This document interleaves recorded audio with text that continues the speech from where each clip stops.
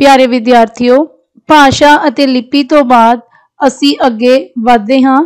ਪੰਜਾਬੀ ਦਾ ਸਾਡਾ ਅਗਲਾ ਟੌਪਿਕ ਹੈ ਨਾਮ ਅਤੇ ਇਸ ਦੀਆਂ ਕਿਸਮਾਂ। ਪਿਆਰੇ ਬੱਚਿਓ, ਇਹ ਕਿਸੇ ਵੀ ਕੰਪੀਟੀਟਿਵ ਐਗਜ਼ਾਮ ਲਈ ਬਹੁਤ ਹੀ ਇੰਪੋਰਟੈਂਟ ਟੌਪਿਕ ਹੈ। ਆਓ ਇਸ ਨੂੰ ਦੇਖਦੇ ਹਾਂ। ਨਾਮ, ਜਿਵੇਂ ਕਿ ਤੁਸੀਂ ਸਾਰੇ ਹੀ ਜਾਣਦੇ ਹੋ ਅੱਜ ਕੱਲ ਲਗਭਗ ਪਹਿਲੀ ਕਲਾਸ ਤੋਂ ਹੀ ਅਸੀਂ ਵਿਦਿਆਰਥੀਆਂ ਨੂੰ ਪੜਾਉਣਾ ਸ਼ੁਰੂ ਕਰ ਦਿੰਦੇ ਹਾਂ ਕਿ ਨਾਮ ਕੀ ਹੁੰਦਾ ਹੈ। ਤਾਂ ਅਸੀਂ ਇੱਕ ਵਾਰੀ ਇਸ ਦੀ ਰਿਵੀਜ਼ਨ ਕਰਦੇ ਹਾਂ। ਕਿਸੇ ਵਿਅਕਤੀ, ਜੀਵ, ਥਾਂ, ਵਸਤੂ, ਹਾਲਤ, ਗੁਣ, ਭਾਵ, ਕੰਮ ਆਦਿ ਲਈ ਵਰਤੇ ਜਾਣ ਵਾਲੇ ਸ਼ਬਦਾਂ ਨੂੰ ਨਾਮ ਕਿਹਾ ਜਾਂਦਾ ਹੈ। ਬੱਚਿਓ, ਜੇ ਇਸ ਨੂੰ ਅਸੀਂ ਨਾਮ ਦੀ ਥਾਂ ਤੇ ਨਾ ਕਹਿ ਲਈਏ, ਤਾਂ ਤੁਸੀਂ ਬਹੁਤ ਆਸਾਨੀ ਨਾਲ ਸਮਝ ਜਾਓਗੇ ਕਿ ਕਿਸੇ ਵੀ ਚੀਜ਼ ਦਾ ਜਿਹੜਾ ਨਾਂ ਹੁੰਦਾ ਏ। ਫੋਰ ਐਗਜ਼ਾਮਪਲ ਬੈਠਣ ਲਈ ਮੈਂ ਜਿਹੜੀ ਚੀਜ਼ ਵਰਤਦੀ ਆ ਮੈਂ ਉਸ ਨੂੰ ਕੁਰਸੀ ਕਹਿੰਨੀ ਆ ਇਹ ਉਸ ਦਾ ਨਾਂ ਹੈ, ਤਾਂ ਇਹਨਾਂ ਨੂੰ ਅਸੀਂ ਨਾਮ ਕਹਿ ਸਕਦੇ ਹਾਂ। ਉਦਾਹਰਨ ਦੇ ਤੌਰ ਤੇ ਜਿਵੇਂ ਸੁਰਜੀਤ ਸਿੰਘ ਕਿਸੇ ਵਿਅਕਤੀ ਦਾ ਨਾਂ ਹੈ, ਮੁੰਡਾ, ਕੁੜੀ, ਭਰਾ, ਮਾਂ, ਬਾਪ। ਇਹ ਕੁਝ ਰਿਸ਼ਤਿਆਂ ਲਈ ਵਰਤੇ ਜਾਣ ਵਾਲੇ ਸ਼ਬਦ ਹਨ, ਜਿਵੇਂ ਕਿ ਭਰਾ, ਮਾਂ ਤੇ ਬਾਪ। ਪੁਲਿਸ, ਇੱਜੜ, ਦਿੱਲੀ, ਧੁੱਪ, ਛਾਂ, ਪਟਿਆਲਾ, ਬਠਿੰਡਾ, ਕਮਰਾ, ਗਊ, ਪੈਨ। ਅਰਦਾਸ, ਗਰੀਬੀ। ਹੁਣ ਤੁਸੀਂ ਕਹੋਗੇ ਕਿ ਇਹ ਤਾਂ ਇੱਥੋਂ ਤੱਕ ਤਾਂ ਸਭ ਠੀਕ ਸੀ। ਕਿਸੇ ਵਸਤੂ ਦੇ ਨਾਮ ਸੀ, ਵਿਅਕਤੀ ਦੇ ਨਾਮ ਸੀ, ਜਾਂ ਸਥਾਨ ਦੇ ਨਾਮ ਸੀ। ਪਰ ਇਹ ਕੀ ਚੀਜ਼ ਹੈ? ਬੱਚਿਓ, ਇਹ ਭਾਵ ਦੇ ਨਾਮ ਹਨ। ਅਜਿਹੀਆਂ ਚੀਜ਼ਾਂ ਜਿਨ੍ਹਾਂ ਨੂੰ ਅਸੀਂ ਦੇਖ ਨਹੀਂ ਸਕਦੇ, ਫੜ ਨਹੀਂ ਸਕਦੇ, ਕੇਵਲ ਮਹਿਸੂਸ ਕਰ ਸਕਦੇ ਹਾਂ, ਇਹ ਉਹਨਾਂ ਦੇ ਨਾਮ ਨੇ, ਜਿਵੇਂ ਕਿ ਅਰਦਾਸ, ਗਰੀਬੀ, ਉਦਮ, ਸੁਗੰਧ, ਪੰਜਾਬੀ, ਪੂਰਨਮਾਸੀ ਆਦਿ। ਤਾਂ ਬੱਚਿਓ, ਸਾਨੂੰ ਪਤਾ ਲੱਗਿਆ ਹੈ ਕਿ ਕਿਸੇ ਵੀ ਚੀਜ਼ ਲਈ ਜਿਹੜਾ ਵੀ ਨਾਮ ਵਰਤਿਆ ਜਾਂਦਾ ਹੈ ਉਸ ਨੂੰ ਅਸੀਂ ਨਾਮ ਕਹਿੰਦੇ ਹਾਂ। ਇਸੇ ਨੂੰ ਬੱਚਿਓ ਹਿੰਦੀ ਵਿੱਚ ਸੰਗਿਆ ਤੇ ਅੰਗਰੇਜ਼ੀ ਦੇ ਵਿੱਚ ਨਾਉਨ ਵੀ ਕਿਹਾ ਜਾਂਦਾ ਹੈ। ਅੱਗੇ ਗੱਲ ਕਰਦੇ ਹਾਂ ਨਾਮ ਦੀਆਂ ਕਿਸਮਾਂ ਦੀ। ਅਰਥ ਦੇ ਪੱਖ ਤੋਂ ਨਾਮ ਪੰਜ ਪ੍ਰਕਾਰ ਦੇ ਹੁੰਦੇ ਹਨ। ਇਹ ਵੀ ਤੁਸੀਂ ਬਹੁਤ ਵਾਰੀ ਪੜਿਆ ਹੋਣਾ ਨਾਮ ਦੀਆਂ ਪੰਜ ਕਿਸਮਾਂ ਹੁੰਦੀਆਂ ਹਨ। ਆਓ ਇਹਨਾਂ ਨੂੰ ਵੀ ਮੋٹے ਤੌਰ ਤੇ ਦੇਖ ਲੈਂਦੇ ਆ ਸਭ ਤੋਂ ਪਹਿਲਾਂ ਬੱਚੇ ਹੁੰਦਾ ਹੈ ਨਿੱਜਵਾਚਕ ਨਾਮ ਜਿਸ ਨੂੰ ਅਸੀਂ ਖਾਸ ਨਾਮ ਵੀ ਕਹਿ ਦਿੰਨੇ ਹਾਂ। ਅੱਗੇ ਆਉਂਦਾ ਹੈ ਜੀ ਜਾਤੀਵਾਚਕ ਨਾਮ ਜਿਸ ਨੂੰ ਅਸੀਂ ਆਮ ਨਾਮ ਕਹਿ ਦਿੰਦੇ ਹਾਂ। ਤੀਸਰੇ ਨੰਬਰ ਤੇ ਆਉਂਦਾ ਹੈ ਸਮੂਹਵਾਚਕ ਨਾਮ ਜਿਸ ਨੂੰ ਕਿ ਇਕੱਠਵਾਚਕ ਨਾਮ ਵੀ ਕਿਹਾ ਜਾਂਦਾ ਹੈ। ਇਕੱਠਵਾਚਕ ਨਾਮ। ਅੱਗੇ ਹੈ ਜੀ ਪਦਾਰਥਵਾਚਕ ਨਾਮ ਤੇ ਅੱਗੇ ਹੈ ਜੀ, ਇਹਨੂੰ ਅਸੀਂ ਵਸਤਵਾਚਕ ਨਾਮ ਵੀ ਕਹਿ ਦਿੰਦੇ ਹਾਂ ਤੇ ਫਿਰ ਲਾਸਟ ਦੇ ਵਿੱਚ ਆਉਂਦਾ ਹੈ ਭਾਵਵਾਚਕ ਨਾਮ। ਤਾਂ ਸਭ ਤੋਂ ਪਹਿਲਾਂ ਨਿੱਜਵਾਚਕ ਨਾਮ ਬਾਰੇ ਪੜ੍ਹਦੇ ਹਾਂ ਜਿਸ ਨੂੰ ਕਿ ਅਸੀਂ ਖਾਸ ਨਾਮ ਵੀ ਕਿਹਾ ਸੀ, ਜਿਹੜੇ ਸ਼ਬਦ ਤੋਂ ਸਾਨੂੰ ਕਿਸੇ ਖਾਸ ਵਿਅਕਤੀ, ਖਾਸ ਜੀਵ, ਖਾਸ ਥਾਂ ਜਾਂ ਖਾਸ ਵਸਤੂ ਦਾ ਗਿਆਨ ਹੁੰਦਾ ਹੈ ਉਸ ਨੂੰ ਅਸੀਂ ਖਾਸ ਨਾਮ ਜਾਂ ਫਿਰ ਨਿੱਜਵਾਚਕ ਨਾਮ ਆਖਦੇ ਹਾਂ। ਜਿਵੇਂ ਕਿ ਭੋਲਾ। ਹਰੇਕ ਵਿਅਕਤੀ ਨੂੰ ਤਾਂ ਬੱਚਿਓ ਅਸੀਂ ਭੋਲਾ ਨਹੀਂ ਕਹਿ ਸਕਦੇ। ਜਿਵੇਂ ਕਲਾਸ ਵਿੱਚ ਪੜਨ ਵਾਲੇ ਜਿਹੜੇ ਵਿਦਿਆਰਥੀ ਹੁੰਦੇ ਨੇ, ਸਾਰਿਆਂ ਨੂੰ ਅਸੀਂ ਵਿਦਿਆਰਥੀ ਤਾਂ ਕਹਿ ਸਕਦੇ ਹਾਂ, ਪਰ ਸਾਰਿਆਂ ਦੇ ਨਾਮ ਇੱਕੋ ਜਿਹੇ ਨਹੀਂ ਹੁੰਦੇ। ਤਾਂ ਸਾਰੇ ਵਿਦਿਆਰਥੀਆਂ ਦੀ ਜਿਹੜੀ ਆਪਣੀ ਆਪਣੀ ਪਹਿਚਾਨ ਹੁੰਦੀ ਹੈ ਉਸ ਨੂੰ ਅਸੀਂ ਨਿੱਜਵਾਚਕ ਜਾਂ ਖਾਸ ਨਾਮ ਕਹਾਂਗੇ। ਜਿਵੇਂ ਕਿ ਭੋਲਾ, ਸ਼੍ਰੀ ਅੰਮ੍ਰਿਤਸਰ ਬੱਚੋ ਸ਼ਹਿਰ ਤਾਂ ਸਾਰੇ ਹੀ ਹੁੰਦੇ ਨੇ, ਪਰ ਸਾਰੇ ਸ਼ਹਿਰ ਅੰਮ੍ਰਿਤਸਰ ਨਹੀਂ ਹੋਣਗੇ। ਸਤਲੁਜ, ਜਿਵੇਂ ਦਰਿਆ ਸ਼ਬਦ ਹੈ, ਉਹ ਅਸੀਂ ਸਤਲੁਜ, ਬਿਆਸ, ਰਾਵੀ, ਚਨਾਬ, ਜੇਲਮ ਜਾਂ ਹੋਰ ਕਿੰਨੇ ਹੀ ਦਰਿਆਵਾਂ ਲਈ ਵਰਤ ਸਕਦੇ ਹਾਂ, ਪਰ ਕਿਸੇ ਵਿਸ਼ੇਸ਼ ਲਈ ਅਸੀਂ ਸਤਲੁਜ ਸ਼ਬਦ ਦਾ ਪ੍ਰਯੋਗ ਕਰਾਂਗੇ। ਇਸੇ ਤਰ੍ਹਾਂ ਚੰਡੀਗੜ੍ਹ, ਦਿੱਲੀ, ਮਾਨਸਾ, ਇਹ ਸ਼ਹਿਰਾਂ ਦੇ ਨਾਮ ਨੇ। ਪ੍ਰਧਾਨ ਮੰਤਰੀ, Supreme Court Guru Nanak Dev ji, Guru Gobind Singh ji State Bank of India ਦੇਖੋ ਬੈਂਕ ਸ਼ਬਦ ਤਾਂ ਕਾਮਨ ਹੋ ਗਿਆ ਬੇਟਾ, ਸਾਰਿਆਂ ਲਈ ਵਰਤ ਸਕਦੇ ਹਾਂ, ਪਰ ਕਿਸੇ ਖਾਸ ਬੈਂਕ ਲਈ ਜਿਹੜਾ ਨਾਮ ਵਰਤਾਂਗੇ ਉਸ ਨੂੰ ਅਸੀਂ ਨਿੱਜਵਾਚਕ ਜਾਂ ਖਾਸ ਨਾਮ ਕਹਾਂਗੇ। ਇਸੇ ਤਰ੍ਹਾਂ ਪੰਜਾਬ ਕਿਸੇ ਖਾਸ ਸੂਬੇ ਦਾ ਨਾਮ ਹੋ ਗਿਆ, ਚੰਦ, ਧਰਤੀ, ਸੂਰਜ, ਬ੍ਰਹਿਮੰਡ, ਅਗਨੀ ਮਿਜ਼ਾਈਲ ਭਾਰਤ ਆਦਿ। ਦੇਖੋ ਮਿਜ਼ਾਈਲ ਸ਼ਬਦ ਤਾਂ ਅਸੀਂ ਕਿਸੇ ਵੀ ਮਿਜ਼ਾਈਲ ਲਈ ਵਰਤ ਸਕਦੇ ਹਾਂ, ਪਰ ਜਿਹੜੀ ਖਾਸ ਮਿਜ਼ਾਈਲ ਹੈ, ਜਿਹਨੂੰ ਕਿ ਅਗਨੀ ਮਿਜ਼ਾਈਲ ਕਿਹਾ ਹੈ, ਠੀਕ ਹੈ, ਤਾਂ ਇਹ ਕੀ ਹੋਏਗਾ? ਖਾਸ ਨਾਮ। ਇਸੇ ਤਰ੍ਹਾਂ ਨਦੀਆਂ, ਜਦੋਂ ਅਸੀਂ ਗੰਗਾ ਕਹਾਂਗੇ, ਤਾਂ ਕਿਸੇ ਖਾਸ ਨਦੀ ਦਾ ਨਾਮ ਆਏਗਾ, ਪਰ ਨਦੀ ਸ਼ਬਦ ਕਾਮਨ ਹੈ। ਇਸ ਨਿਜਵਾਚਕ ਨਾਮ ਨੂੰ ਖਾਸ ਨਾਮ ਵੀ ਕਿਹਾ ਜਾਂਦਾ ਹੈ, ਤੁਹਾਨੂੰ ਮੈਂ ਪਹਿਲਾਂ ਹੀ ਦੱਸ ਚੁੱਕੀ ਹਾਂ। ਅੱਗੇ ਵਧਦੇ ਹਾਂ ਜੀ। ਜਾਤੀਵਾਚਕ ਨਾਮ ਜਾਂ ਆਮ ਨਾਮ। ਜਿਹੜੇ ਸ਼ਬਦ ਤੋਂ ਜੀਵਾਂ ਅਤੇ ਗਿਣਨਯੋਗ ਵਸਤੂਆਂ ਦੀ ਸਾਰੀ ਸ਼੍ਰੇਣੀ ਜਾਂ ਜਾਤੀ ਅਤੇ ਉਸ ਸ਼੍ਰੇਣੀ ਦੇ ਹਰੇਕ ਜੀਵ ਜਾਂ ਵਸਤੂ ਦਾ ਗਿਆਨ ਹੋਵੇ ਉਸ ਨੂੰ ਜਾਤੀਵਾਚਕ ਨਾਮ ਕਹਿੰਦੇ ਹਨ। ਬੱਚੋ ਜਿਹਨੂੰ ਅਸੀਂ ਸੌਖੇ ਤੌਰ ਤੇ ਕਰ ਲਈਏ, ਜਿਹੜੇ ਸ਼ਬਦ ਕਿਸੇ ਸਮੁੱਚੀ ਜਾਤੀ ਦਾ ਬੋਧ ਕਰਾਉਂਦੇ ਨੇ ਜਾਂ ਸਮੁੱਚੀ ਜਾਤੀ ਦੇ ਹਰੇਕ ਜੀਵ ਦਾ ਬੋਧ ਕਰਾਉਂਦੇ ਨੇ ਉਸ ਨੂੰ ਅਸੀਂ ਜਾਤੀਵਾਚਕ ਜਾਂ ਆਮ ਨਾਮ ਕਹਿੰਦੇ ਹਾਂ। ਜਿਵੇਂ ਮਨੁੱਖ। ਮਨੁੱਖ ਸ਼ਬਦ ਐਸਾ ਹੈ ਬੱਚੋ ਜਿਹੜਾ ਕਿਸੇ ਲਈ ਵੀ ਪ੍ਰਯੋਗ 'ਚ ਲਿਆਂਦਾ ਜਾ ਸਕਦਾ ਹੈ। ਇਸੇ ਤਰ੍ਹਾਂ ਭੈਣ ਇੱਕ ਰਿਸ਼ਤੇ ਦਾ ਨਾਮ ਹੈ, ਜਿਹੜਾ ਕਿ ਹਰੇਕ ਭੈਣ ਲਈ ਵਰਤਿਆ ਜਾ ਸਕਦਾ ਹੈ। ਮੁੰਡਾ, ਮਾਂ, ਬਾਪ, ਗਾਂ, ਪਸ਼ੂ, ਸ਼ਹਿਰ, ਦਰਿਆ, ਪੁਸਤਕ, ਫੁੱਲ, ਅਧਿਆਪਕ, ਪਿੰਡ ਆਦਿ। ਇਸ ਤੋਂ ਇਲਾਵਾ ਬਹੁਤ ਸਾਰੀਆਂ ਉਦਾਹਰਨਾਂ ਅਸੀਂ ਹੋਰ ਵੀ ਲੈ ਸਕਦੇ ਹਾਂ, ਜਿਵੇਂ ਕਿ ਸਕੂਲ ਹੋ ਗਿਆ ਮੰਦਰ ਹੋ ਗਿਆ, ਪਿੰਡ ਹੋ ਗਿਆ, ਸ਼ਹਿਰ ਹੋ ਗਿਆ, ਇਹ ਸਾਰੇ ਸ਼ਬਦ ਨੇ ਜਿਹੜੇ ਜਾਤੀਵਾਚਕ ਜਾਂ ਆਮ ਨਾਮ ਦੀ ਸ਼੍ਰੇਣੀ ਵਿੱਚ ਆਉਣਗੇ। ਕਿਉਂਕਿ ਹਰੇਕ ਪੜਾਉਣ ਵਾਲੇ ਨੂੰ ਅਸੀਂ ਅਧਿਆਪਕ ਹੀ ਕਵਾਂਗੇ ਤੇ ਪੜਨ ਵਾਲੇ ਨੂੰ ਅਸੀਂ ਵਿਦਿਆਰਥੀ ਕਹਾਂਗੇ, ਤਾਂ ਵਿਦਿਆਰਥੀ ਸ਼ਬਦ ਵੀ ਇਸੇ ਕੈਟਾਗਰੀ ਦੇ ਵਿੱਚ ਆਵੇਗਾ। ਜਾਤੀਵਾਚਕ ਨਾਮ ਨੂੰ ਆਮ ਨਾਮ ਵੀ ਕਿਹਾ ਜਾਂਦਾ ਹੈ, ਇਸ ਸ਼੍ਰੇਣੀ ਦੇ ਸ਼ਬਦਾਂ ਦਾ ਬਹੁਵਚਨ ਵੀ ਬਣਦਾ ਹੈ। ਅੱਗੇ ਬੱਚਿਓ, ਤੀਸਰੀ ਕਿਸਮ ਵੱਲ ਚੱਲਦੇ ਹਾਂ। ਸਮੂਹਵਾਚਕ ਨਾਮ ਜਾਂ ਇਕੱਠਵਾਚਕ ਨਾਮ? ਹੁਣ ਜਿਹੜੇ ਸ਼ਬਦ ਵਿਅਕਤੀਆਂ, ਜੀਵਾਂ ਜਾਂ ਗਿਣੀਆਂ ਜਾਣ ਵਾਲੀਆਂ ਵਸਤੂਆਂ ਦੇ ਇਕੱਠ ਜਾਂ ਸਮੂਹ ਲਈ ਵਰਤਿਆ ਜਾਵੇ।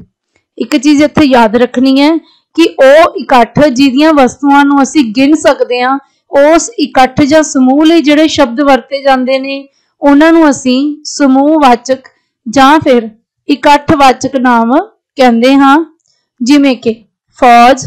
ਫੌਜ ਦੇ ਵਿੱਚ ਅਸੀਂ ਸਾਰੇ ਫੌਜੀਆਂ ਦੀ ਗਿਣਤੀ ਕਰ ਸਕਦੇ ਹਾਂ। ਸ਼੍ਰੇਣੀ, ਇੱਕ ਕਲਾਸ ਦੇ ਵਿੱਚ ਕਿੰਨੇ ਵਿਦਿਆਰਥੀ ਨੇ, ਗਿਣੇ ਜਾ ਸਕਦੇ ਨੇ। ਟੀਮ, ਟੋਲੀ, ਜਥਾ ਜਨ ਬਗ ਖੇੜ ਖੇੜ ਡਾਰ, ਢੇਰ ਆਦਿ। ਸਮੂਹਵਾਚਕ ਨਾਵਾਂ ਨੂੰ ਇਕੱਠਵਾਚਕ ਨਾਮ ਵੀ ਕਿਹਾ ਜਾਂਦਾ ਹੈ। ਅੱਗੇ ਆਉਂਦਾ ਹੈ ਜੀ ਪਦਾਰਥਵਾਚਕ ਨਾਮ ਜਾਂ ਵਸਤਵਾਚਕ ਨਾਮ? ਹੁਣ ਜਿਹੜੇ ਸ਼ਬਦ ਪਹਿਲੇ, ਇਸ ਤੋਂ ਪਹਿਲੀ ਕੈਟਾਗਰੀ 'ਚ ਅਸੀਂ ਗਿਣੀਆਂ ਜਾਣ ਵਾਲੀਆਂ ਵਸਤੂਆਂ ਦੇ ਸਮੂਹ ਦੀ ਗੱਲ ਕੀਤੀ ਸੀ। ਇੱਥੇ ਉਹ ਸ਼ਬਦ ਆਉਣ, ਇੱਥੇ ਉਹ ਵਸਤੂਆਂ ਆਉਣਗੀਆਂ ਜਿਹੜੀਆਂ ਗਿਣੀਆਂ ਨਹੀਂ ਜਾ ਸਕਦੀਆਂ, ਪਰ ਤੋਲੀਆਂ ਜਾਂ ਮਿਨੀਆਂ ਜਾ ਸਕਦੀਆਂ ਨੇ। ਜਿਹੜੇ ਸ਼ਬਦ ਤੋਂ ਕਿਸੇ ਤੋਲੇ ਮਿਨੇ ਜਾਂ ਹਾੜੇ ਜਾ ਸਕਣ ਵਾਲੇ ਪਦਾਰਥ ਦਾ ਗਿਆਨ ਹੋਵੇ ਉਸ ਨੂੰ ਪਦਾਰਥਵਾਚਕ ਨਾਮ ਕਿਹਾ ਜਾਂਦਾ ਹੈ। ਜਿਵੇਂ ਕਿ ਰੇਤ। ਦੇਖੋ, ਰੇਤ ਨੂੰ ਅਸੀਂ ਜੋਕ ਸਕਦੇ ਆ ਨਾ, ਤੋਲ ਸਕਦੇ ਆ ਨਾ ਵਿੱਚ। ਪੱਥਰ, ਗੁੜ, ਪੱਥਰ ਦਾ ਵੀ ਭਾਰ ਮਾਪਿਆ ਜਾ ਸਕਦਾ ਕਿੰਨੇ ਕਿਲੋ ਦਾ ਪੱਥਰ ਹੈ? ਗੁੜ, ਸ਼ੱਕਰ, ਦੁੱਧ, ਪਾਣੀ। ਦੇਖੋ, ਦੁੱਧ ਨੂੰ ਲੀਟਰਾਂ 'ਚ ਮਿਲ ਸਕਦੇ ਆ, ਪਾਣੀ ਨੂੰ ਵੀ ਲੀਟਰਾਂ 'ਚ ਮਿਲ ਸਕਦੇ ਆ, ਤੇਲ ਨੂੰ ਵੀ ਲੀਟਰਾਂ 'ਚ ਮਿਲ ਸਕਦੇ ਆ। ਸੋਨੇ ਨੂੰ ਅਸੀਂ ਗ੍ਰਾਮਾਂ, ਕਿਲੋਗ੍ਰਾਮਾਂ 'ਚ ਮਾਪ ਸਕਦੇ ਆ, ਲੋਹੇ ਨੂੰ ਵੀ, ਕਣਕ ਨੂੰ ਵੀ ਤੇ ਚੌਲ ਨੂੰ ਵੀ।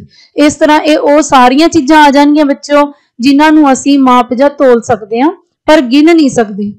ਪਦਾਰਥਵਾਚਕ ਨਾਵਾਂ ਨੂੰ ਵਸਤੂਵਾਚਕ ਨਾਮ ਵੀ ਕਿਹਾ ਜਾਂਦਾ ਹੈ। ਅੱਗੇ ਵਧਦੇ ਹਾਂ ਜੀ ਇਹਦੀ ਲਾਸਟ ਕੈਟਾਗਰੀ ਪੰਜਵੀਂ ਕਿਸਮ, ਭਾਵਵਾਚਕ ਨਾਮ। ਜਿਵੇਂ ਕਿ ਸਾਨੂੰ ਨਾਮ ਤੋਂ ਹੀ ਪਤਾ ਲੱਗ ਰਿਹਾ ਹੈ ਕਿ ਭਾਵ ਭਾਵ ਕੀ ਹੁੰਦੇ ਨੇ ਬੱਚਿਓ? ਕਦੇ ਭਾਵ ਦਿਖਾਈ ਦਿੰਦੇ ਨੇ? ਨਹੀਂ ਦਿਖਾਈ ਦਿੰਦੇ। ਤਾਂ ਜਿਹੜੀ ਚੀਜ਼ ਦਿਖਾਈ ਨਹੀਂ ਦਿੰਦੀ, ਫਿਰ ਅਸੀਂ ਉਹਦਾ ਚਿੱਤਰ ਵੀ ਨਹੀਂ ਬਣਾ ਸਕਦੇ। ਤਾਂ ਜਦੋਂ ਵੀ ਕਦੇ ਸਾਨੂੰ ਨਾਮ ਛਾਂਟਣ ਲਈ ਕਿਹਾ ਜਾਵੇ, ਤਾਂ ਸਭ ਤੋਂ ਪਹਿਲਾਂ ਜੇ ਤੁਹਾਨੂੰ ਸਮਝ ਨਾ ਲੱਗੇ, ਇਹ ਸੋਚੋ ਕਿ ਕੀ ਉਸ ਦਾ ਚਿੱਤਰ ਬਣ ਸਕਦਾ ਹੈ। ਅਗਰ ਤੁਹਾਡੇ ਸਾਹਮਣੇ ਕੋਈ ਐਸੀ ਚੀਜ਼ ਜਾਂ ਐਸੀ ਗੱਲਬਾਤ ਆਉਂਦੀ ਹੈ ਜਿਹਦਾ ਚਿੱਤਰ ਨਾ ਬਣ ਸਕਦਾ ਹੋਵੇ, ਚੁੱਪਚਾਪ ਉੱਥੇ ਤੁਸੀਂ ਭਾਵਵਾਚਕ ਨਾਮ ਲਗਾ ਸਕਦੇ ਹੋ। ਇਹ ਇੱਕ ਤੁਕਬੰਦੀ ਹੈ ਜਿਹੜੀ ਕਿ ਮੋਸਟਲੀ ਸੈੱਟ ਬੈੰਦੀ ਹੈ ਤਾਂ ਜਿਹੜੀਆਂ ਚੀਜ਼ਾਂ ਦਾ ਚਿੱਤਰ ਨਹੀਂ ਬਣ ਸਕਦਾ ਹੁੰਦਾ, ਉਹ ਮੋਸਟਲੀ ਭਾਵਵਾਚਕ ਨਾਮ ਦੇ ਵਿੱਚ ਆਉਂਦੀਆਂ ਨੇ। ਜਿਹੜੇ ਸ਼ਬਦ ਤੋਂ ਕਿਸੇ ਗੁਣ, ਹਾਲਤ, ਭਾਵ ਆਦਿ ਦਾ ਗਿਆਨ ਹੋਵੇ ਉਸ ਨੂੰ ਭਾਵਵਾਚਕ ਨਾਮ ਕਿਹਾ ਜਾਂਦਾ ਹੈ। ਬੱਚਿਓ, ਇਹਦੀ ਖਾਸੀਅਤ ਕੀ ਹੈ? ਜਿੰਨਾ ਚੀਜ਼ਾਂ ਲਈ ਭਾਵਨਾਵਾਂ ਵਾਚਕ ਵਰਤੇ ਜਾਂਦੇ ਨੇ, ਉਹਨਾਂ ਨੂੰ ਕੇਵਲ ਮਹਿਸੂਸ ਕੀਤਾ ਜਾ ਸਕਦਾ ਹੈ, ਵੇਖਿਆ ਜਾਂ ਛੂਹਿਆ ਨਹੀਂ ਜਾ ਸਕਦਾ। ਤਾਂ ਮੈਂ ਹੁਣੇ ਤੁਹਾਨੂੰ ਇਹਦੇ ਲਈ ਇੱਕ ਟ੍ਰਿਕ ਦੱਸੀ ਹੈ ਕਿ ਜਿਹੜੀ ਚੀਜ਼ ਨੂੰ ਅਸੀਂ ਵੇਖ ਨਹੀਂ ਸਕਦੇ ਛੂ ਨਹੀਂ ਸਕਦੇ ਕੇਵਲ ਮਹਿਸੂਸ ਕਰ ਸਕਦੇ ਹਾਂ, ਤਾਂ ਫਿਰ ਅਸੀਂ ਉਹਦਾ ਚਿੱਤਰ ਕਿਵੇਂ ਬਣਾਵਾਂਗੇ? ਕਿਸੇ, ਕੋਈ ਬੰਦਾ ਗਰੀਬ ਹੈ, ਠੀਕ ਹੈ? ਕਿਸੇ ਨੂੰ ਉਹਦੀ ਗਰੀਬੀ ਜ਼ਿਆਦਾ ਲੱਗਦੀ ਹੋਊਗੀ, ਕਿਸੇ ਨੂੰ ਉਹਦੀ ਗਰੀਬੀ ਘੱਟ ਲੱਗਦੀ ਹੋਊਗੀ। ਇਹ ਮਤਲਬ ਪਰਸਨ ਟੂ ਪਰਸਨ ਵੇਰੀ ਕਰਦਾ ਹਰੇਕ ਬੰਦੇ ਦੇ ਆਪਣੇ ਹਾਲਾਤ ਹੁੰਦੇ ਨੇ, ਜਿਹਦੇ ਵਿੱਚ ਕੋਈ ਕਿਸੇ ਨੂੰ ਗਰੀਬ ਮਹਿਸੂਸ ਕਰਦਾ ਤੇ ਜੇ ਉਸ ਤੋਂ ਵੀ ਕੋਈ ਗਰੀਬ ਹੋਵੇ, ਉਹਦੇ ਲਈ ਉਹ ਅਮੀਰ ਹੋ ਸਕਦਾ ਤਾਂ ਇਹ ਉਹ ਚੀਜ਼ਾਂ ਨੇ ਜਿਨ੍ਹਾਂ ਨੂੰ ਅਸੀਂ ਕੇਵਲ ਮਹਿਸੂਸ ਕਰ ਸਕਦੇ ਹਾਂ, ਦੇਖ ਜਾਂ ਛੂ ਨਹੀਂ ਸਕਦੇ। ਤਾਂ ਫਿਰ ਬੱਚੋ ਇਹਨਾਂ ਦਾ ਚਿੱਤਰ ਵੀ ਨਹੀਂ ਬਣ ਸਕਦਾ। ਜਿਵੇਂ ਕਿ ਸੁੰਦਰਤਾ ਜੇ ਅਸੀਂ ਉਦਾਹਰਨ ਲਈਏ, ਤਾਂ ਇੱਕ ਲੜਕੀ ਨੂੰ ਦੇਖ ਕੇ ਕੁਝ ਬੰਦੇ ਕਹਿਣਗੇ, ਬਹੁਤ ਸੁੰਦਰ ਹੈ। ਕੁਝ ਕਹਿਣਗੇ, ਠੀਕ ਠੀਕ ਹੈ। ਤੇ ਹੋ ਸਕਦਾ ਹੈ, ਕੁਝ ਕਹਿਣ ਵੀ ਇਹ ਸੋਹਣੀ ਹੀ ਨਹੀਂ ਹੈ। ਜਾਨੀ ਕਿ ਸੁੰਦਰਤਾ ਲਈ ਵੀ ਹਰੇਕ ਦੇ ਆਪਣੇ ਆਪਣੇ ਮਾਪਦੰਡ ਨੇ। ਇਸੇ ਤਰ੍ਹਾਂ ਸਿਹਤ, ਗੁਲਾਮੀ, ਗਰੀਬੀ, ਬਿਮਾਰੀ, ਖੁਸ਼ੀ, ਸੁੱਖ, ਦੁੱਖ, ਬਚਪਨ ਬੁਢੇਪਾ, ਪਿਆਰ ਦੇਸ਼ ਭਗਤੀ ਤੇ ਵਫਾਦਾਰੀ ਆਦਿ। ਇਹਦਾ ਵਿੱਚੋਂ ਕੁਝ ਕੁ ਉਦਾਹਰਨਾਂ ਨੇ, ਇਸ ਤੋਂ ਬਿਨਾ ਵੀ ਬਹੁਤ ਸਾਰੀਆਂ ਚੀਜ਼ਾਂ ਹੋ ਸਕਦੀਆਂ ਨੇ, ਜਿਨ੍ਹਾਂ ਨੂੰ ਅਸੀਂ ਕੇਵਲ ਮਹਿਸੂਸ ਕਰ ਸਕਦੇ ਹਾਂ। ਫੋਰ ਐਗਜ਼ਾਮਪਲ ਮੰਨ ਲਓ ਸਾਡੇ ਸਾਹਮਣੇ ਕੋਈ ਟੋਆ ਹੈ, ਉਸ ਟੋਏ ਦੀ ਡੂੰਘਾਈ 2 ਫੁੱਟ ਹੈ। ਹੁਣ ਜਿਹੜਾ ਬੰਦਾ ਰੋਜ਼ ਡੂੰਘੀਆਂ ਥਾਵਾਂ ਤੇ ਜੰਪ ਮਾਰਦਾ ਉਹਦੇ ਲਈ ਹੋ ਸਕਦਾ ਉਹਦੀ ਡੂੰਘਾਈ ਬਹੁਤ ਘੱਟ ਹੋਵੇ। ਪਰ ਜਿਹੜਾ ਬੰਦਾ ਹਮੇਸ਼ਾ ਸਮਤਲ ਧਰਤੀ ਤੇ ਰਿਹਾ ਹੋਵੇ ਉਸ ਨੂੰ ਲੱਗਦਾ, ਉਸੇ ਦੀ ਹੀ ਡੂੰਘਾਈ ਜ਼ਿਆਦਾ ਮਹਿਸੂਸ ਹੋ ਸਕਦੀ ਹੈ। ਤਾਂ ਜਿਹੜੀ ਟੋਏ ਦੀ ਡੂੰਘਾਈ ਹੋਏਗੀ, ਉਹ ਵੀ ਕੀ ਹੈ ਬੱਚੋ ਭਾਵਵਾਚਕ ਨਾਮ ਹੈ। ਪਿਆਰੇ ਵਿਦਿਆਰਥੀਓ, ਨਾਮ ਪੜਨ ਤੋਂ ਬਾਅਦ ਆਓ ਕੁਝ ਪ੍ਰਸ਼ਨਾਂ ਦਾ ਅਭਿਆਸ ਕਰੀਏ, ਕਿਉਂਕਿ ਜਿੰਨੇ ਵੀ ਆਪਣੇ ਕੋਲ ਕੰਪੀਟੀਟਿਵ ਐਗਜ਼ਾਮ ਹੁੰਦੇ ਨੇ, ਉਹਨਾਂ ਦੇ ਵਿੱਚ ਜ਼ਿਆਦਾਤਰ ਬਹੁ ਵਿਕਲਪੀ ਪ੍ਰਸ਼ਨ ਹੀ ਪੁੱਛੇ ਜਾਂਦੇ ਨੇ। ਤਾਂ ਇਹਨਾਂ ਦੇ ਅਭਿਆਸ ਬਿਨਾ ਸਾਡਾ ਟੌਪਿਕ ਅਧੂਰਾ ਹੈ। ਇਸ ਲਈ ਮੈਂ ਇੱਕ ਨਵੀਂ ਕੋਸ਼ਿਸ਼ ਕੀਤੀ ਹੈ ਕਿ ਹਰੇਕ ਟੌਪਿਕ ਤੋਂ ਬਾਅਦ ਤੁਹਾਨੂੰ 5-7 ਪ੍ਰਸ਼ਨ ਕਰਵਾ ਦਿੱਤੇ ਜਾਣ ਤਾਂ ਕਿ ਸਾਡਾ ਮੈਂਟਲ ਸੈਟਅਪ ਉਦਾਂ ਦਾ ਹੀ ਹੋ ਜਾਵੇ ਕਿ ਕਿਸੇ ਟੌਪਿਕ ਵਿੱਚੋਂ ਕਿਸ ਤਰ੍ਹਾਂ ਦੇ ਪ੍ਰਸ਼ਨ ਬਣ ਸਕਦੇ ਨੇ। ਤਾਂ ਸਾਡਾ ਪਹਿਲਾ ਪ੍ਰਸ਼ਨ ਹੈ, ਜਿਹੜੇ ਸ਼ਬਦ ਕਿਸੇ ਮਨੁੱਖ, ਵਸਤੂ ਜਾਂ ਸਥਾਨ ਦੇ ਨਾਵਾਂ ਦਾ ਬੋਧ ਕਰਾਉਣ ਉਹਨਾਂ ਨੂੰ ਕੀ ਕਹਿੰਦੇ ਨੇ? ਇਹ ਸਭ ਤੋਂ ਸੌਖਾ ਪ੍ਰਸ਼ਨ ਹੈ ਬੱਚਿਓ। ਦੇਖੋ, ਇਹਦੇ ਸਾਨੂੰ ਦੋ ਫਾਇਦੇ ਨੇ। ਇੱਕ ਤਾਂ ਸਾਨੂੰ ਪ੍ਰਸ਼ਨਾਂ ਦੀ ਬੰਤਰ ਦਾ ਪਤਾ ਲੱਗ ਜਾਂਦਾ ਹੈ ਤੇ ਦੂਸਰਾ ਸਾਡੀ ਰਿਵੀਜ਼ਨ ਵੀ ਹੋ ਜਾਂਦੀ ਹੈ। ਤਾਂ ਇਹ ਸਾਡੀ ਡੈਫੀਨੇਸ਼ਨ ਹੈ ਨਾਮ ਦੀ। ਤਾਂ ਸਾਨੂੰ ਬਹੁਤ ਹੀ ਆਸਾਨੀ ਨਾਲ ਇਹ ਨਾਮ ਸ਼ਬਦ ਪੜ੍ਹ ਕੇ ਹੀ ਪਤਾ ਲੱਗ ਗਿਆ ਹੈ ਕਿ ਇਸ ਦਾ ਉੱਤਰ ਕੀ ਹੈ, ਨਾਮ ਹੈ। ਤਾਂ ਇਸ ਦੇ ਲਈ ਸਾਨੂੰ ਵਿਸ਼ੇਸ਼ ਚਰਚਾ ਕਰਨ ਦੀ ਜ਼ਰੂਰਤ ਨਹੀਂ ਹੈ। ਬੱਚੋ ਦੂਸਰਾ ਪ੍ਰਸ਼ਨ ਹੈ ਸਾਡਾ ਨਾਮ ਸ਼ਬਦ ਚੁਣੋ। ਦੇਖੋ, ਪਹਿਲਾ ਪ੍ਰਸ਼ਨ ਬਹੁਤ ਹੀ ਸੌਖਾ ਸੀ। ਦੂਸਰੇ ਪ੍ਰਸ਼ਨ 'ਚ ਹੋ ਸਕਦਾ ਹੈ ਕਿ ਸਾਨੂੰ ਥੋੜਾ ਜਿਹਾ ਸੋਚਣਾ ਪਵੇ। ਤੇਜ਼, ਸੋਹਣਾ। ਦੂਸਰੀ ਆਪਸ਼ਨ ਹੈ, ਕੁਰਸੀ, ਮੇਜ਼।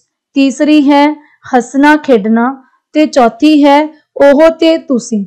ਬੱਚੇ, ਜਦੋਂ ਅਸੀਂ ਸਾਰਾ ਕੁਝ ਪੜ੍ਹ ਲਵਾਂਗੇ, ਨਾਮ ਪੜਨਾਮ ਕਿਰਿਆ ਤੇ ਵਿਸ਼ੇਸ਼ਣ, ਉਸ ਤੋਂ ਬਾਅਦ ਸਾਨੂੰ ਪਤਾ ਲੱਗ ਜਾਵੇਗਾ ਕਿ ਪਾਰਟਿਕੂਲਰ ਕਿਹੜੀ ਚੀਜ਼ ਕੀ ਹੈ। ਕਿਹੜੇ ਸ਼ਬਦ ਕਿਹੜੀ ਕੈਟਾਗਰੀ ਚ ਆਉਂਦੇ ਨੇ? ਜਿਵੇਂ ਕਿ ਤੇਜ਼ ਤੇ ਸੋਨਾ ਵਿਸ਼ੇਸ਼ਣ ਨੇ, ਜਾਂ ਕਿਰਿਆ ਵਿਸ਼ੇਸ਼ਣ ਵੀ ਹੋ ਸਕਦੇ ਨੇ। ਕੁਰਸੀ ਮੇਜ਼ ਕੀ ਨੇ ਬੱਚਿਓ? ਨਾਮ ਨੇ। ਇਸੇ ਤਰ੍ਹਾਂ ਹੱਸਣਾ, ਖੇਡਣਾ ਕਿਰਿਆਵਾਂ ਨੇ।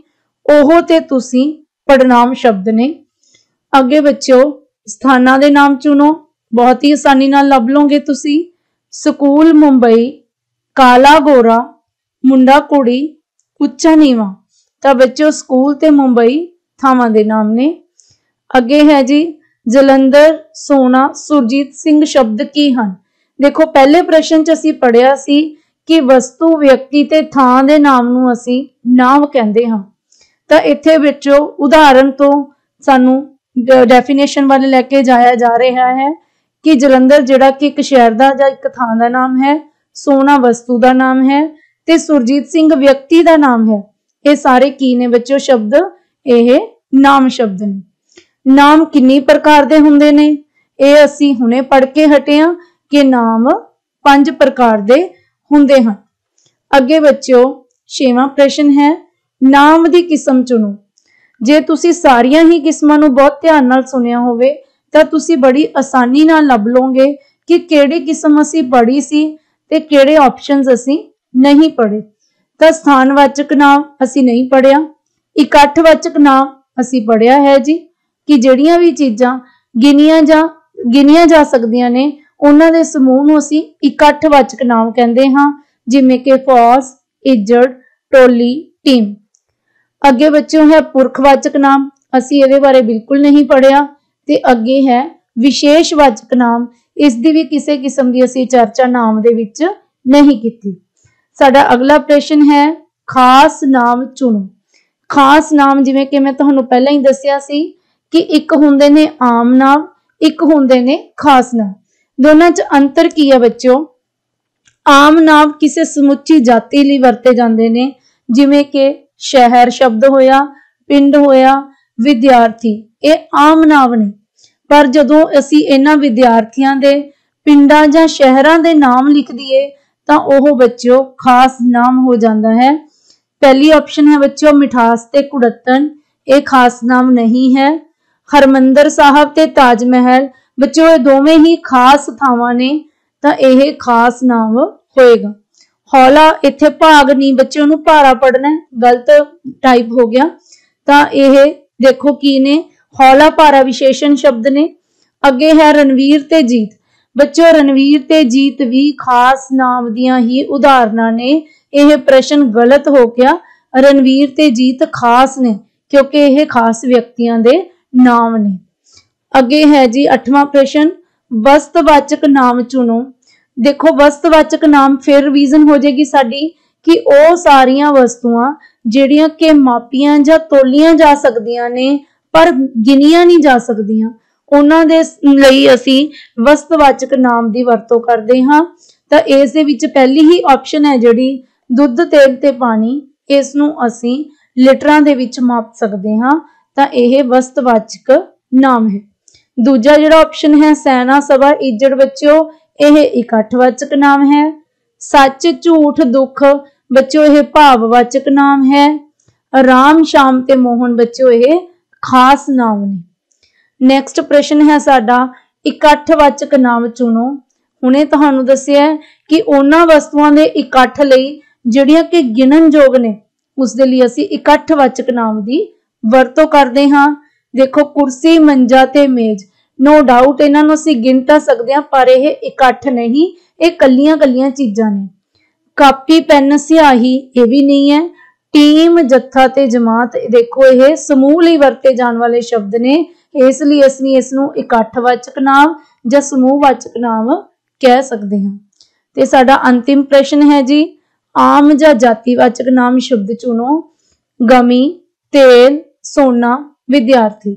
ਤਾਂ ਬੱਚੋ, ਮੈਂ ਇਹੀ ਉਦਾਹਰਨ ਤੁਹਾਡੇ ਸਾਹਮਣੇ ਲਈ ਸੀ ਕਿ ਇੱਕ ਕਲਾਸ ਵਿੱਚ ਸਾਰੇ ਪੜਨ ਵਾਲੇ ਕੀ ਹੁੰਦੇ ਨੇ? ਵਿਦਿਆਰਥੀ। ਤਾਂ ਸਾਰੀ ਚੀਜ਼ਾਂ ਲਈ ਜਿਹੜਾ ਸਾਰੀ ਸਮੁੱਚੀ ਜਾਤੀ ਲਈ ਸ਼ਬਦ ਵਰਤਿਆ ਜਾਂਦਾ ਹੈ, ਉਹ ਆਮ ਜਾਂ ਜਾਤੀਵਾਚਕ ਨਾਮ ਹੁੰਦਾ ਤਾਂ ਇਹ ਕੀ ਹੈ ਬੱਚਿਓ? ਵਿਦਿਆਰਥੀ ਸ਼ਬਦ ਹੈ ਜਿਹੜਾ ਆਮ ਨਾਮ ਹੈ ਜਾਂ ਫਿਰ ਜਾਤੀਵਾਚਕ ਨਾਮ ਹੈ। ਬੱਚੋ, ਮੈਨੂੰ ਪੂਰੀ ਉਮੀਦ ਹੈ ਕਿ ਤੁਹਾਨੂੰ ਨਾਮ ਬਾਰੇ ਬਹੁਤ ਚੰਗੀ ਤਰ੍ਹਾਂ ਪਤਾ ਲੱਗ ਗਿਆ ਹੋਵੇਗਾ। ਅਗਰ ਤੁਹਾਨੂੰ ਪਹਿਲਾਂ ਹੀ ਆਉਂਦਾ ਸੀ ਤਾਂ ਤੁਹਾਡੀ ਰਿਵੀਜ਼ਨ ਹੋ ਗਈ ਹੋਵੇਗੀ। ਤਾਂ ਬੱਚਿਓ, ਮੇਰੀ ਇਸ ਵੀਡੀਓ ਨੂੰ ਲਾਈਕ ਕਰੋ, ਵੱਧ ਤੋਂ ਵੱਧ ਸ਼ੇਅਰ ਕਰੋ ਤੇ ਅਗਰ ਤੁਸੀਂ ਮੇਰੇ ਚੈਨਲ ਨੂੰ ਹਾਲੇ ਤੱਕ ਸਬਸਕ੍ਰਾਈਬ ਨਹੀਂ ਕੀਤਾ ਤਾਂ ਕਰ ਲਓ ਤੇ ਬੈਲ ਆਈਕਨ ਨੂੰ ਜ਼ਰੂਰ ਪ੍ਰੈਸ ਕਰ ਲਓ ਤਾਂ ਕਿ ਆਉਣ ਵਾਲੀਆਂ ਵੀਡੀਓ ਦੀ ਨੋਟੀਫਿਕੇਸ਼ਨ ਤੁਹਾਡੇ ਤੱਕ ਪਹੁੰਚਦੇ ਰਹਿਣ, ਤਾਂ ਕਿ ਤੁਸੀਂ ਆਪਣੀ ਜੋ ਵੀ ਟੈਸਟ ਦੀ ਤਿਆਰੀ ਕਰ ਰਹੇ ਹੋ ਉਸ ਦੀ ਰਿਵੀਜ਼ਨ ਜਾਂ ਫਿਰ ਕੁਝ ਬੱਚੇ ਪਹਿਲੀ ਵਾਰ ਸਿੱਖ ਰਹੇ ਹੋਣਗੇ, ਉਹ ਤੁਸੀਂ ਆਸਾਨੀ ਨਾਲ ਕਰ ਸਕੋ। ਤਾਂ ਬੱਚੋ ਮੇਰੀ ਵੀਡੀਓ ਨੂੰ ਦੇਖਣ ਲਈ ਤੁਹਾਡਾ ਬਹੁਤ ਬਹੁਤ ਧੰਨਵਾਦ। Thanks for watching please like and share it maximum thanks